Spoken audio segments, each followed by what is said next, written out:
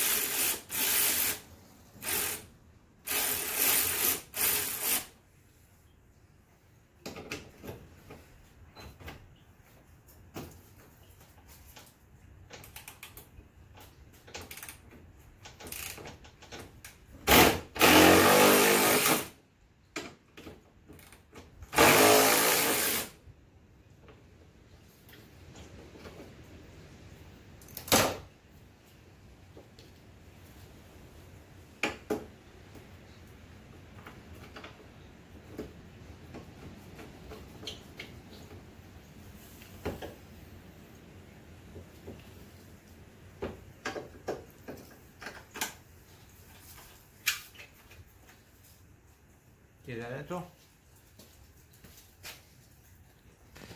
Que vamos a sacar estos tornillos para sacar el radiador. Vamos a ver. Estos tornillos que están aquí. Estos. Y. ¿Se pueden ver? Está ahí. Ese. Se zafo esos de las líneas del de viene el aceite de transmisión. Ese yo utilizo también. Pongo estos para tapar que no, no, no salga el aceite. No esté regando aceite, entonces les dejo con esto. Les tapo aquí. Acá abajo. Le pongo aquí una manguera. Cuando lo saco y listo. Vamos a hacerle eso.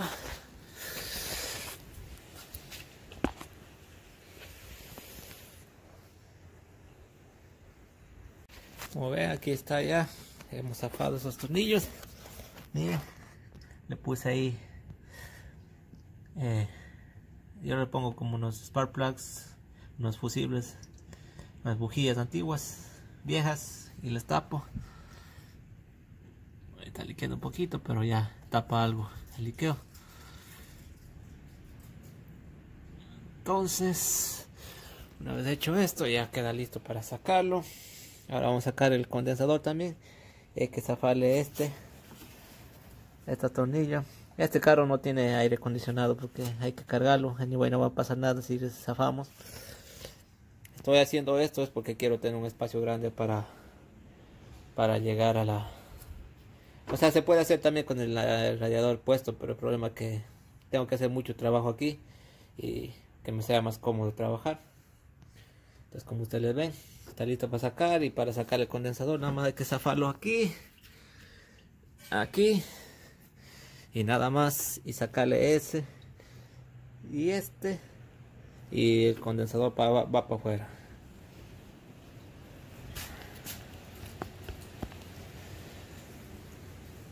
Pueden ver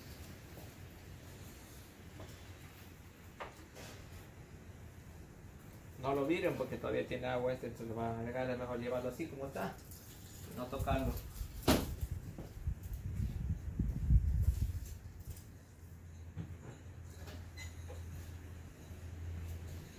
Entonces vamos a jalar esto de que le dije el condensador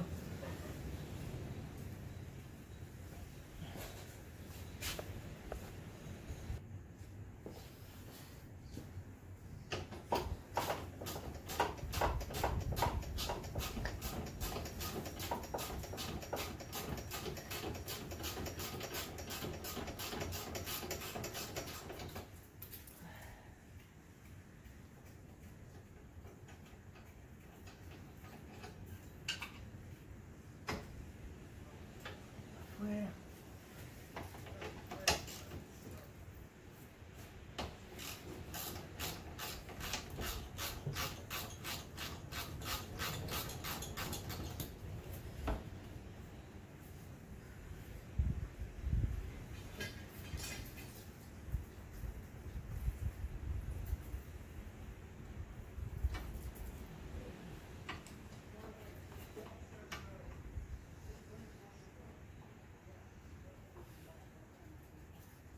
El tornillo ahí mismo. Que no lo pierdan.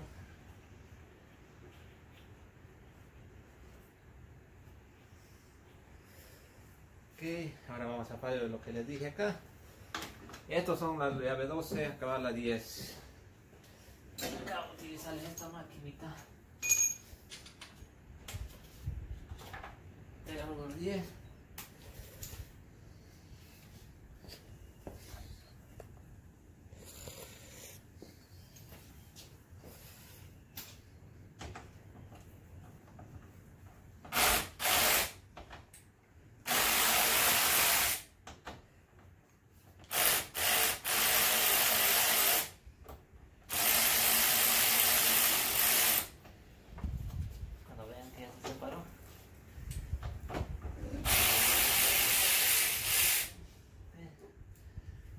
tornillo. Acá.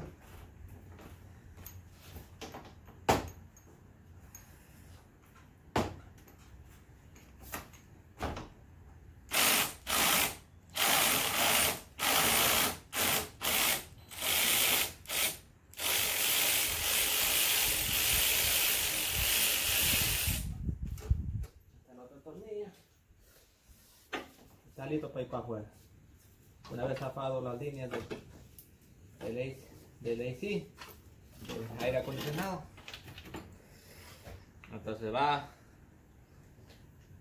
eso para afuera.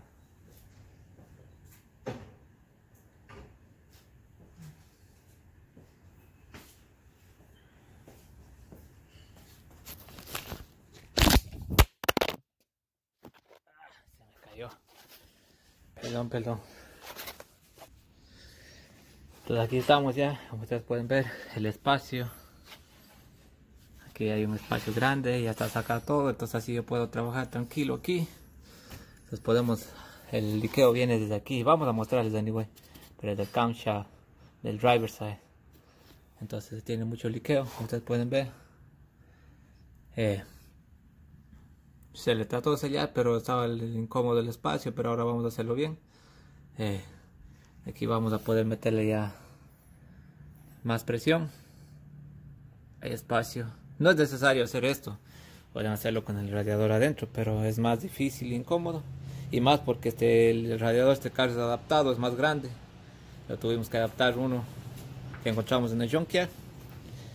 Por eso se nos hace difícil. Y además este carro también chocaron y ustedes pueden ver.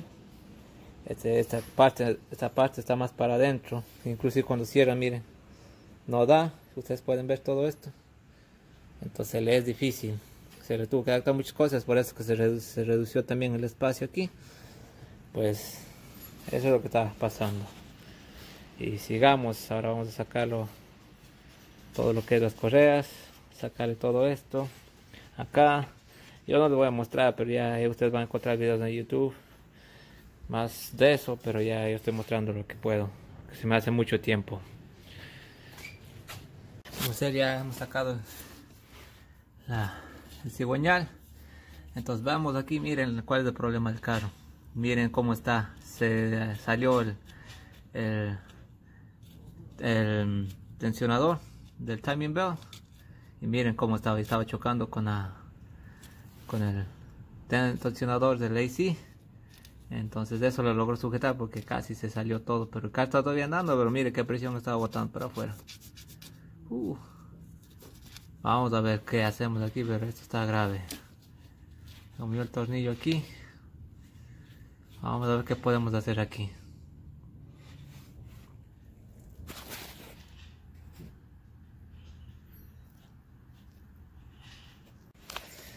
Aquí está ya, como ven, este tornillo es el que está aislado hay que vamos a verle construyendo la otra rosca para agarrarlo entonces por eso estaba suelto y estaba dándole presión a esto todo esto lo que pasa que el antiguo dueño había trabajado en este carro había cambiado el motor y prácticamente habían aislado algunos tornillos habían roto todo la, la, lo que le cubre a esto el carro estaba bien malo le trabajamos duro, pero miren cómo se habían aguantado esto. Entonces, ahora toca hacer otra rosca y aquí tapar el liqueo. Y vamos a seguir trabajando. Como ven, ya les sellamos eso. Tiene un nuevo seal. Y aquí ya yo le hice otra rosca. Entonces quedó. Vamos a ver. Ojalá que me resista construimos otra rosca estaba dañada eh, como vemos esta también estaba mal cuando arreglaron el motor todo lo aislaron pero esta todavía sí, sí está apretando esta ya está entonces ahora estamos vamos a ponerle en tiempo esta se movió un poquito se desconfiguró y posiblemente tengamos un problema en este que no supe qué lado se fue pero vamos a ver cómo va ahí Vamos a poniendo ya en tiempo. Yo le utilicé esto para arreglar la rosca. Si ustedes desean arreglar su rosca, ustedes pueden ver. Se llama Treat Repair Set para reparar las roscas. Ahí está que vino. Bueno, seguimos. Bueno, aquí está ya. Solo le puse provisionalmente. Ustedes pueden ver, está puesto provisional nomás para chequear a ver cómo está. Vamos a ver si quedó el tiempo acuérdense que esta se me movió y no sé si está el correcto tiempo y si no estaba el motor va a temblar y va a ser una vibración rara eh, ahí está lo demás como ven ya le arreglamos este tensionador hicimos una nueva rosca. Y vamos a ver prendiéndole. Todo está profesional ustedes como ven. Esto es solo por un rato ustedes pueden prenderle así sacar todo sin la correa de afuera. Eh, por un rato. El carro mismo se va a apagar después. Vamos a prenderle. Vamos a ver cómo está.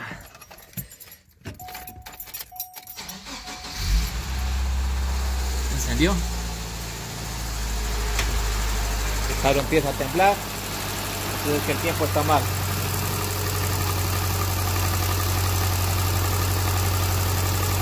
Vamos a esperar un rato porque ¿por qué le hago así? es porque no quiero armarle todo eso y después que esté mal y después me toque sacar de nuevo todo. No. Y por eso es mejor hacerlo así. Y chequear que todo quede bien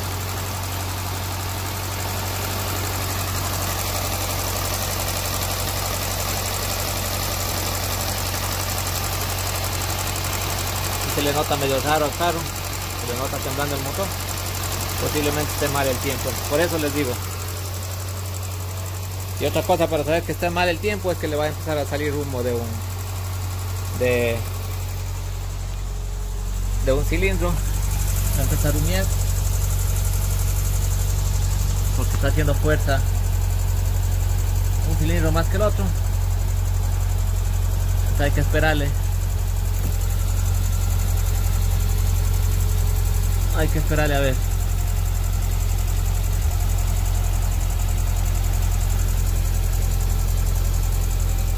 Vamos a ver si tiembla. Entonces, como ven el motor está normal. Porque si ustedes notan está temblando. Está vibrando más de lo normal. Entonces eso quiere decir que ese, que le dije que se fue el tiempo está mal. Entonces yo lo regresé para acá lo voy a regresar para el otro lado por eso es que me evité eso para ponerle bien el tiempo